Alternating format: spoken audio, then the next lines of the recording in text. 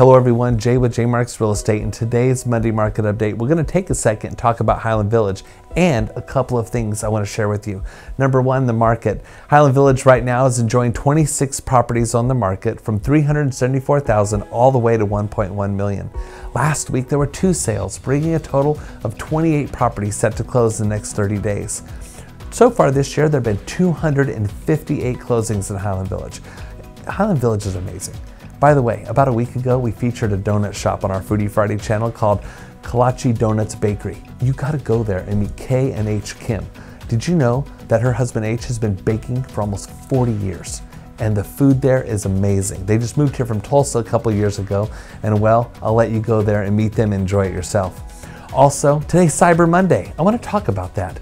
Cyber Monday is where you buy things online, and what better thing to do than buy a house online? And you can do that on our house portal, buyahousefromhome.com. Did you know that the average home buyer looks online for about six months before they engage a realtor? True story. And so we'd like to talk to you. If you're wondering how your property manages on the market in Highland Village, or if you want to buy in this amazing town, give us a call at 972 724 2540. I'm Jay with Jay Marks Real Estate, and that's your Monday Market Update for Monday, November 30th, 2020.